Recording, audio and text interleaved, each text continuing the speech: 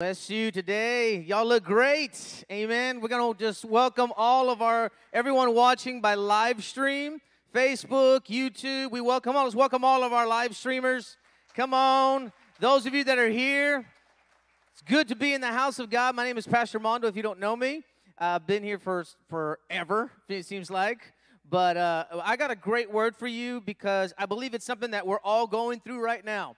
And I believe it's something that we're all dealing with right now. And it's the topic of negativity. And I want to talk about staying in faith in a negative world. Because we live in a world where constant negative stuff is coming at us. More than ever, it's we are in an, we are seeing a, a an overabundance of negativity. Now there is positive things going on, but you've got to be able to filter out those things. And I really believe God, God is saying something to the church today is that we must live by faith. We must operate in faith. We must speak faith. And we must also see through the eyes of faith as well. But before I get started, I want to say this, this, this, uh, this quote I found on I found it on the internet, and I can't I can't claim it. I don't know who it is, but but it really then un, really cap, everything about what I'm going to say today. An entire sea of water can't, cannot sink a ship unless the water gets inside the ship. Similarity, the, the, the negativity of the world can, cannot put you down unless you allow it to get inside of you. So you and I can be in a world full of negativity. But if you allow the negativity to get in you, it will drown you. It'll drown your life, it'll drown your family, your finances, your whole life. It'll drown you. And that drowning feeling, it will come in other forms of depression, of worry, of anxiety. That's when you know you've let some water in. See, you can, li- you can live in a world that's full of negativity because the Bible says this, and, the, and the God is just bringing this to my spirit that you're like a tree that's planted by the river that does not lose its root in season but flourishes. Even though there's a famine going on around the, that tree it is next to the brook. It's next to the source. And you and i are like that tree. We're, we're connected to god. And when you and i are connected to god we can thrive we can we can survive we can we can be able to uh, uh, uh, uh, produce fruit even in a time where others are not producing fruit and are worrying. Have you ever heard of the deadly the, the seven deadly sins? There's deadly sins out there. They, they, they, they say gluttony greed lust wrath sloth envy pride. And i've heard a bunch of deadly things. But i believe there's a few more there's some few more of the deadly things like eating bad oysters. Ooh, kukui, that's a bad one. That that right there will will knock you will knock you out. Uh, or even bad menudo. That's bad. If somebody didn't date it right, and they said it was made last week and really it was three months ago, and you're like, oh. Who, you know, menudo doesn't go bad. Who knows? Uh, anyway, here's another thing. Here's another thing that's deadly trying to buy toilet paper and water at Sam's or HEB when there's none, all right? That's deadly. Watch out. But there are a lot of deadly things in this world. But one deadliest thing that ever that is deadly to a Christian's life is negativity. Negativity is devastating to the life of a Christian or to anyone. Negativity, uh, living a negative life, has a bigger impact on your life than you realize. Negativity is a silent killer and masks itself in different forms. You may say, Well, I'm not a negative person. I just worry a lot. Well, I'm not a negative person. I'm, I just have an anger problem. Okay, dokie. I'm not a negative person, but I regret ever doing blah, blah, blah, blah, blah. That's negativity. Negativity will bring these things in different forms, and these two things regret brings into your present life the power of the past life. When you regret something, you are bringing the power that it was at the time you experienced it right into your present time. And then you regurgitate that and you feel those emotions all over again. It's like listening to a song and you hear a song.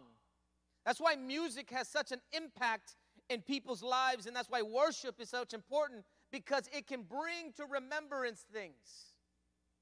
If you hear an old song, it can either make you feel sad or it can make you feel happy. Oh, I remember hearing this song, man. I was on that roller coaster, yeah, and went down there, and uh, you know, and it brings up a happy, a happy thing. Or you can hear a song and you're like, that's when she, that's when I lost my first girlfriend, you know. And so you can have regret. I spent too much money on that car and I lost the car. Oh, every time I see a, a, a, a, a, you know this car come by me, it reminds me of what I lost. And we sit there and we regret and we regurgitate the pain. And that's one thing we should not do. It'll sabotage your present possibilities and your present opportunities and all the things that God has promised you. It'll sabotage it. You've got to remember that there's a time for everything. There's a time to weep, there's a time to praise, there's a time to, to sow, there's a time to reap, there's a time for everything. But right now, the time is for you to start walking and talking and thinking in faith. It is not the time to gather around and start doing what the world is doing and, and start to, to start to get in the, involved into all of that negativity and to get into the conspiracies and all these other things. You know, those things the Bible says you'll always have these things. Don't be surprised. The word God says, the Lord says, even today, don't be surprised that you hear of wars and rumors of wars. Do not be surprised if you hear of deadly diseases and things that, that are going to come around. Even the, the elect will be deceived. Do not be surprised because the end is near. You see, the world is groaning and shaking for God to come back. So, you and I should not be surprised that we're living in a world like this, but you and I can live in a world like this if we're living in the Word. Amen? Because God has built you, you were designed for battles. You were designed because the Bible says that I am an overcomer. So, if I'm an overcomer, I'm constantly overcoming things. I'm constantly in a battle. I'm either going in a battle, I'm in a, or I'm, I'm in, in a battle, or I'm coming out of a battle. But either way, the Bible says, I win. Even if I make a bad move or a mistake, God says, I'll make it right. So those regrets and those worries, I don't know why I'm saying that. I didn't say until the last service. I don't know, but those regrets and those worries that you thought that you lost, God is going to bring them back to you. But He's not going to bring them back to the person who's regurgitating the hurt. He's going to give them back to the person who's saying His word. And says, even if the cankerworm and the locusts have stolen it and eaten it, God, you're going to give it right back to me. He shall supply all of my needs. He will supply it. He's El Shaddai, the God is more than enough. He wants to consistently bless us and give us the keys to the kingdom. But see, you and I must not live in regret and worry brings your present life into your present life the power of what could have happened or what might happen. The woulda, coulda. You sit there and worry and you say this, and you start to play out the scenarios in your life. You start playing out the scenario of you losing your job and then this and then that, and you start thinking, oh my gosh, and then you start playing out scenarios of your children and what they're doing and this. You play out the scenario. You play out the scenarios in your mind, and what you're doing and what you don't realize is you're rewiring your brain to think negatively. There's something called neuroplasticity, which is basically the rewiring of your brain. You can rewire your brain to become a negative thinker. And the way you unwire or, de- or rewire your brain to think in faith is that you must speak it. Because faith comes by hearing. Faith comes by what? Hearing. Faith don't come by prayer, faith don't come by reading, faith comes by hearing. And hearing of what? So who are you who are you listening to the most? Yourself. you hear yourself the most. You're driving, oh, I can't stand this job. Oh man, look at this car. Oh, I don't even have nothing to wear. I'm wearing this again. And you consistently hear yourself over and over, and you think, I'm not hurting nobody, it's just me. Uh-uh, I, I, I, I speak positive to other people, but I speak negative to myself. Come on, somebody. How many of, how many of you that's you? Come on, you don't have to raise your hand, but a lot of us church folks like to do that. We speak negatively to ourselves, but we speak positively to other people. Oh, be blessed, sister. Oh, be blessed, brother. But how when was the last time you blessed yourself? Come on, come on, come on. I know that hurts. Ow, that hurts. Pastor, don't do that. How many times have you said to yourself, you look in the mirror and says, you are blessed and highly favored.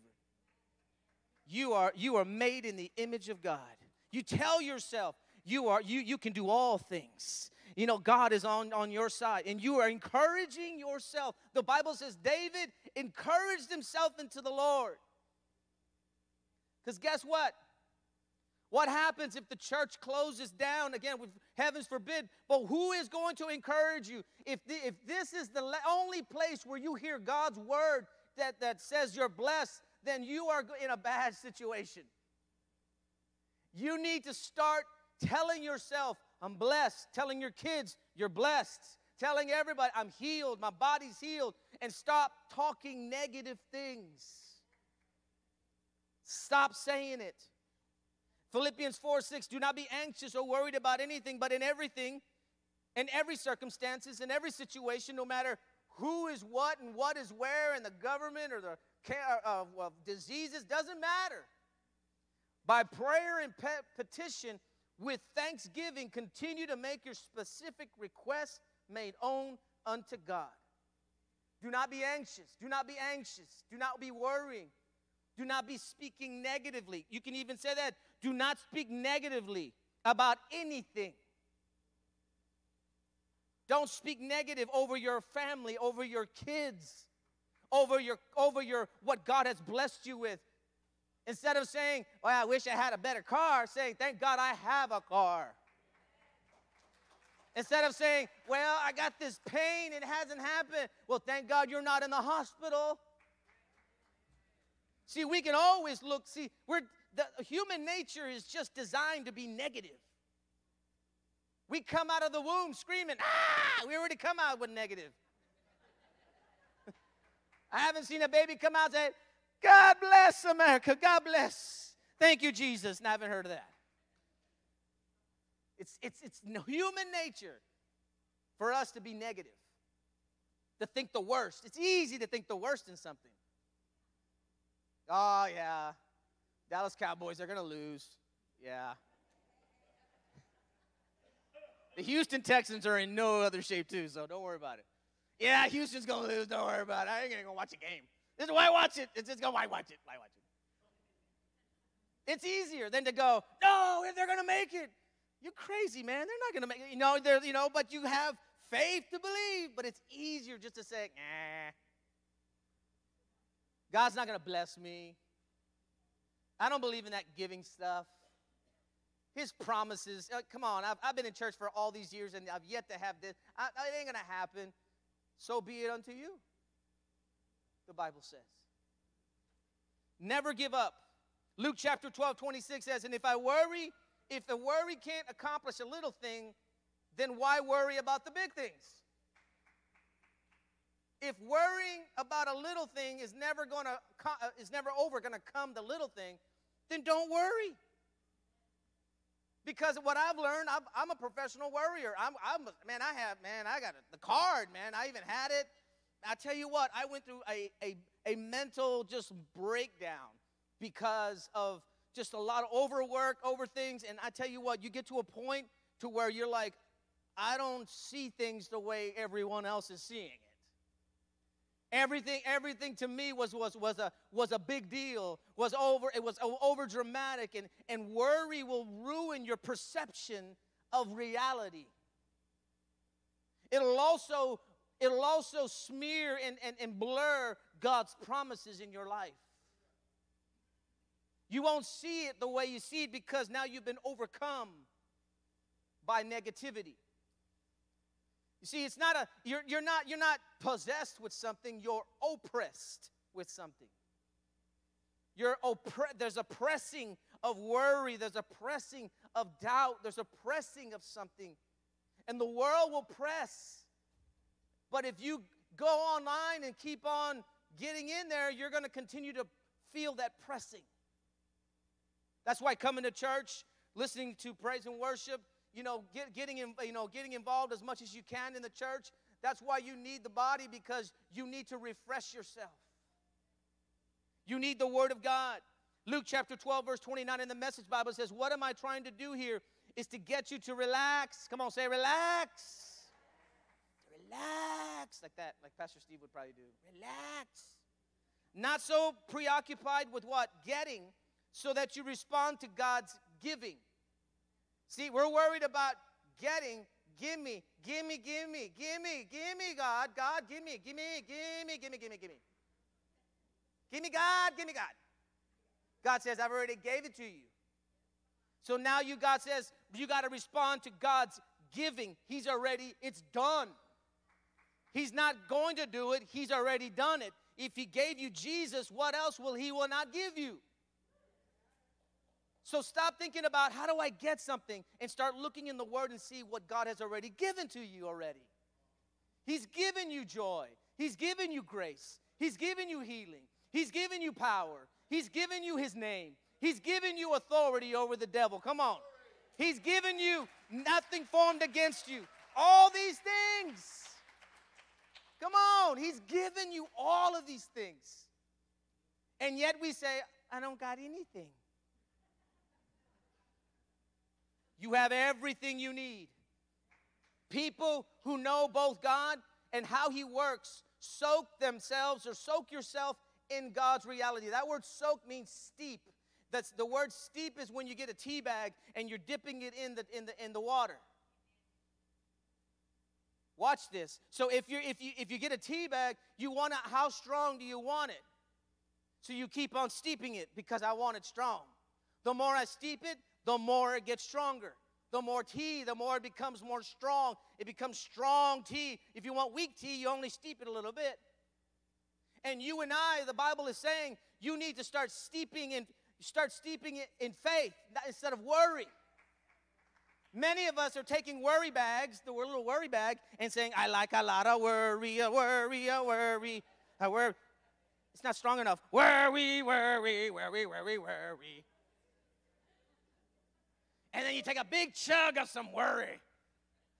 And then we go get more, and we're steeping it, steeping it. And you know what? God is saying, stop doing that and start steeping it with faith. Faith, faith, faith, faith, faith, God's grace, God's faith, faith, faith. And you go, need more faith. Faith, faith, faith, faith, faith.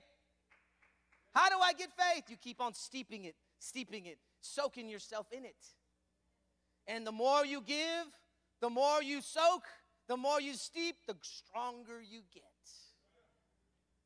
So you cannot blame anybody. Well, I'm not strong because you know the church, the church, or the pastor, or this. No, no, no. You have the bag. Pastor Steve's not going to go to your house and go, "Let me take it for you and put it in your. Let me do that for you. Let me help you go into your prayer closet. Go pray. Go pray.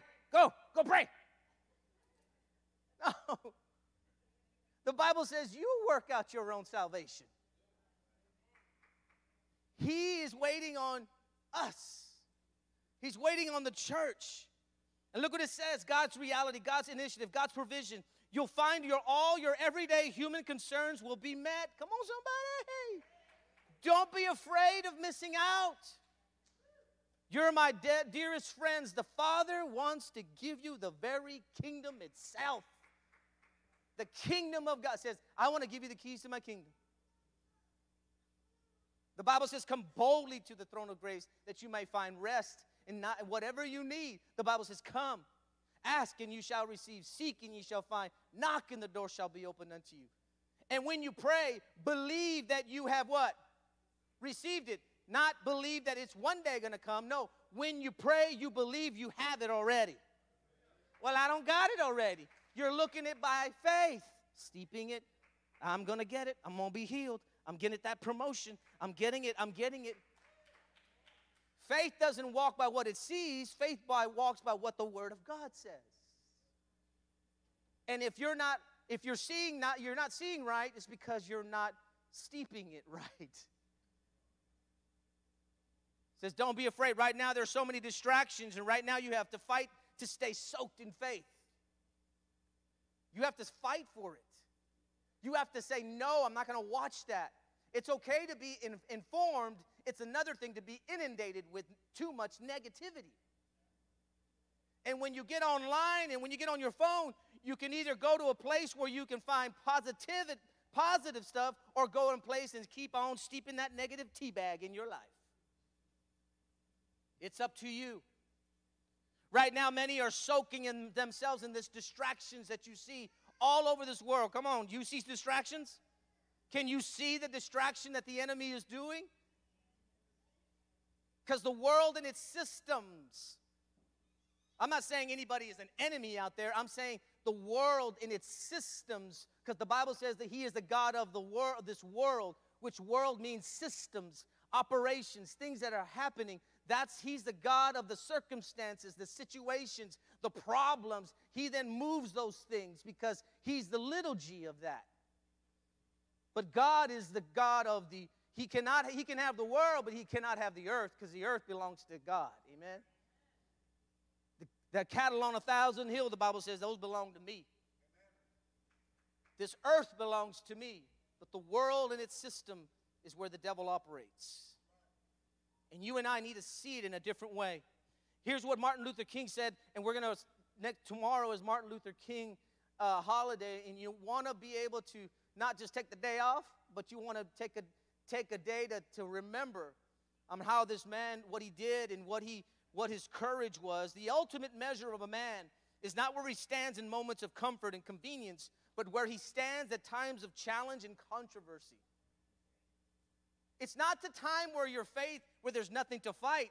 It's, it's when there's something to fight that you find out what's inside of you. How much faith you really have? Can you go through a battle?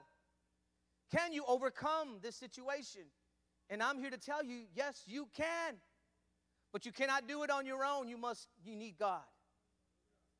You could try to do it on your own and you will fail. You will get tired.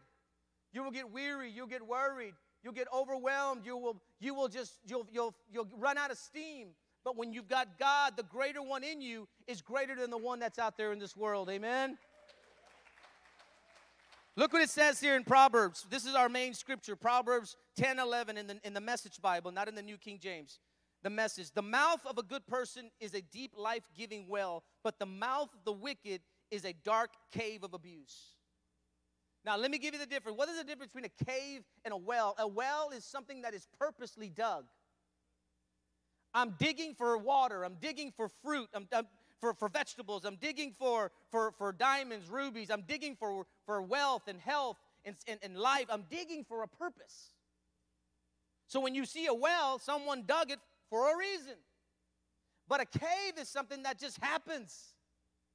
And so the Bible is saying your mouth can either be like a cave where you just it just it's just it's influenced by the world and it just becomes a cave of negativity. If you allow yourself to be driven by what the world says, then your mouth will become a cave. In a cave, it's usually dark and it's usually dingy and there's nothing in there, there's no life, stinks. And usually, those places is not a place you want to be in. But a well that is dug, it brings forth water, it brings forth life, it brings forth things. And that's what the Bible is saying that God is saying you must your mouth must become a well, not a cave. We must come from, and how does my mouth become a well? When I speak God's word, when I believe in his promises. The Bible says that the thief comes not to steal, kill, and destroy.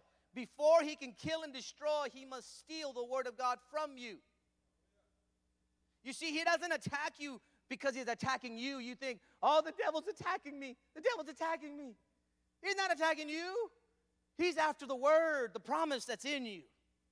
He's after that vision. He's after that purpose. He's after that dream that God has put in your life. And he wants to steal that.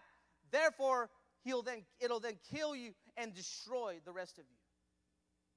He cannot have you unless he's got and has stolen your joy, stolen your peace.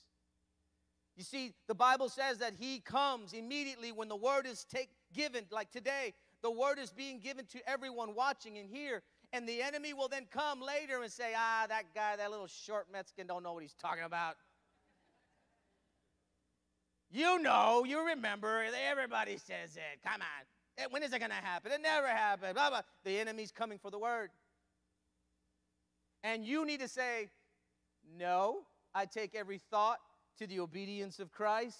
And that doesn't line up with God's word because God's word says, because the word of God says, because the word of God says. And if you don't know the word of God, how can you fight back without the word of God? Because even Jesus said, The word says. When the enemy came at him, he said, The word says. Negative confessions. I like that little one back there. Amen. All I heard was, Amen back there. All right, that's good. Even some young ones are getting it. Come on, somebody. Small, look at this. Small negative confessions can have a deep, big impact. I'm gonna give you this story. There was a guy that was camping and, and he went out camping and he was in a cot and he was gonna sleep outdoors. He said, I'm gonna sleep outdoors. He got this mosquito net, put it around him, got a flashlight, made sure all the bugs were out, went to sleep. But when he woke up, he didn't realize that he left one mosquito in there. And the mosquito had bitten him 20 some odd times all over his body, was having a feast. Probably that mosquito popped somewhere with all the blood he had sucked. But he was like, oh my gosh. And here's the here's the here is the, the parable of it. If you think your small things can't make a large impact, try sleeping with a mosquito all night in a tent. Small things can make a big impact. And a negative mindset and a negative word can go a long way can make an impact. Number one, negativity reflects inner defeat, faith reflects inner greatness. Come on, somebody. Negativity is always about what's inside of us. The Bible says in Matthew, You brought of vipers, how can you, being evil, speak good things? For out of the abundance of the heart, the mouth speaks. So if you want to know the condition of your heart, just listen to what you're saying. If you don't believe yourself, record yourself. Write down everything you every time you say something negative. Oh man, I hate this. Oh, I'm gonna write that down, okay? Oh, honey, you just uh, no, let me write that one down, okay? How many times can you go the whole day without being negative? Ah, I don't know. Because you're gonna have to police your mouth, you're gonna have to watch it. It's hard. Because you know what we like to do? We like to point the finger. It's their fault. It's his fault. It's her fault. It's their fault. That's the reason why I'm angry. That's the reason why I'm a, I'm a mean person. It's their fault. And we got to stop pointing the finger at other people and start pointing the finger right at us. Because negativity is an inner defeat, but faith believes. The Bible says in Second Corinthians 13 that we must examine ourselves and see and test ourselves and see what's wrong. Notice it doesn't say you're to judge other people. That's not your job. Your job is to love other people. Your job is to give grace unto people. Your job is not to judge other people, it's to love other people. You are to judge yourself and look and examine yourself and say, where do I need to change? And you feel that way when you come to church and the Holy Spirit's tugging on your heart saying, come on, you need to ask forgiveness about that thing. Come on, you need to get your life right. And right now, that's what God is doing right now. Right now, as I'm talking, God is, is telling you that negativity in your life needs to stop because He wants to bring about fruit in your life. Number two, negativity justifies itself, but faith justify, is justified by grace. Proverbs 16, 2, all the ways of man are pure in his eyes, but the Lord weighs the spirit. I might see something that I think is right, but it is not right. You can say it's right all day long, but it might be wrong. Because, but be, just because you see it right doesn't mean it's right. And we justify it because we're seeing it from a cave of defeat, or are you seeing it from a well of victory? It's how your perception. Romans 3:24 says, "And all are justified freely by his grace through the redemption that God that came through Jesus Christ." So we don't want to be negative. We don't want to have it, but it's easy to be negative. It's easy to do this. It's easy. It's easy to justify our, our, our, our negativity. I'm this way because they did this to me and I'm, I'm never going to change. It justifies itself. A person who has a small house a lot of times looks at another person and looks at a big house and says, I bet you he cheated on his taxes to get that big house. I know it. They're doing something wrong over there. Yeah, I know. I know.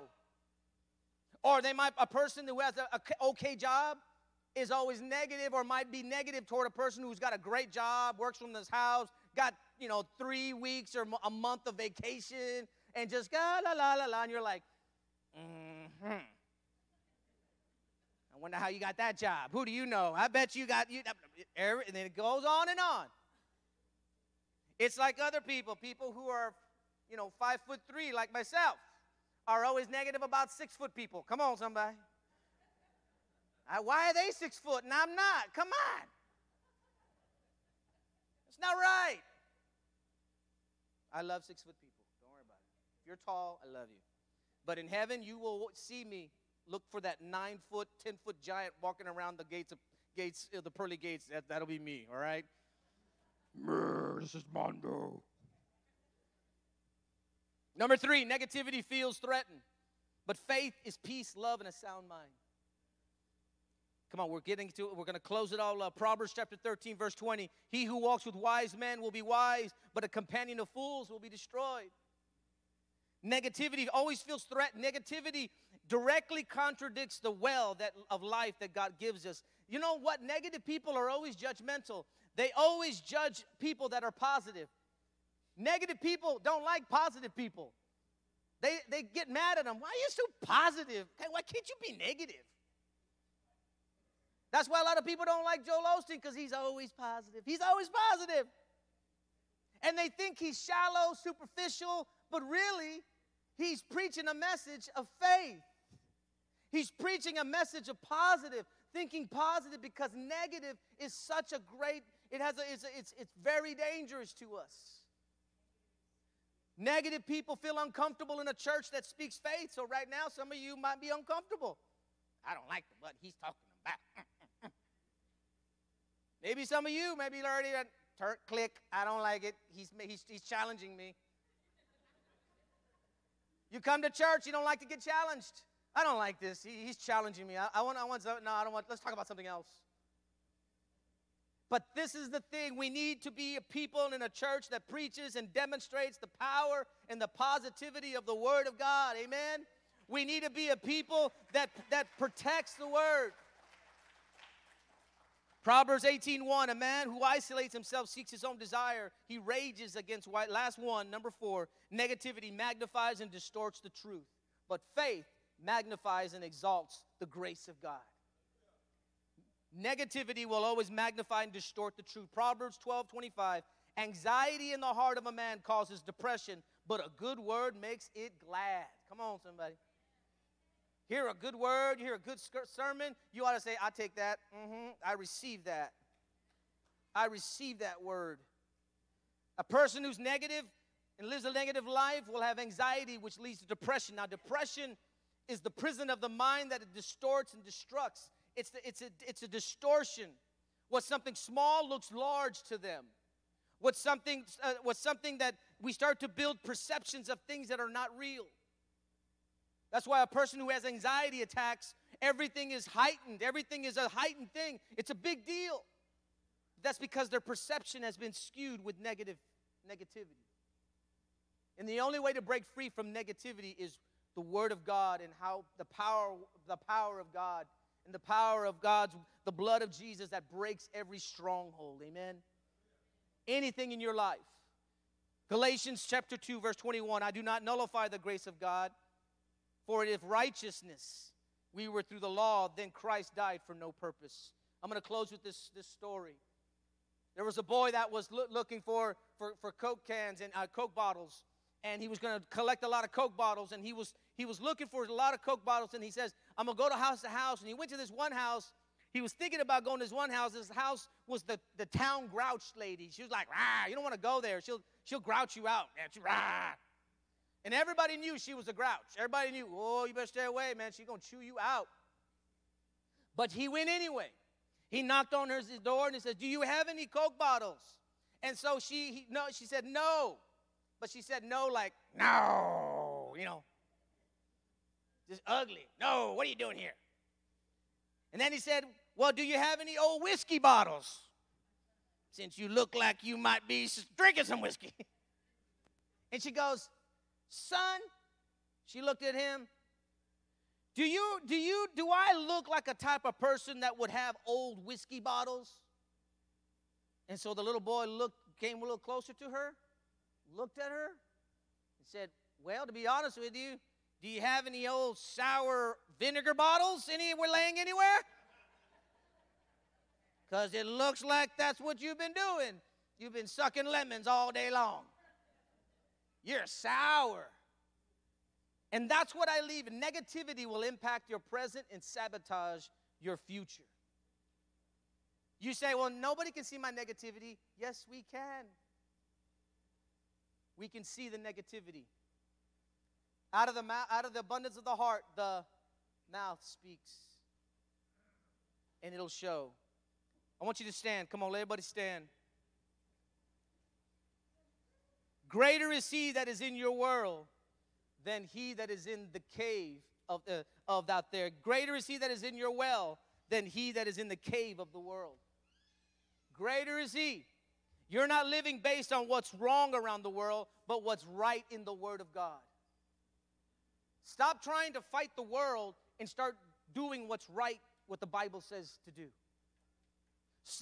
We, we need to build our life on what, what's right about God instead of what's wrong with others and what's wrong with the world. Stop trying to change people. Stop trying to change, change things. Just go and start saying, Lord, I can't do anything about the world and these circumstances, but I can do one thing and I can rely on your promises. And say, Lord, I'll work on myself. I'll work on me. This is who I am. This is where I am. And this is what I'm dealing with. And some of us are dealing with negative things right now. You've been speaking negative things. There's neg- you can almost feel the negativity around you. But I want you to realize that God is in control. He is in control. You might say, well, it looks like others are in control. No, God is in control. But you must see that He's in control. You must give your life to Him. You must say, Lord, here it is. Here am I. Here am I, Lord. Take me. Close your eyes right now. Those of you that are watching, just close your eyes and say, Lord, these negative thoughts, these negative feelings that I've been speaking, Lord, I just ask you to forgive me, Lord, and let me speak. Let my mouth be the, a well of living water rather than a cave. Lord, I just bless you. I thank you, Lord, because you're good. You always do good. And there's good going on right now in my life. Help me to see the goodness Help me to speak the goodness over my life. Lord, we thank you, Father, because you gave your only Son to die on the cross. And his name is Jesus, and we receive him in our life right now. Let us live a life of positive.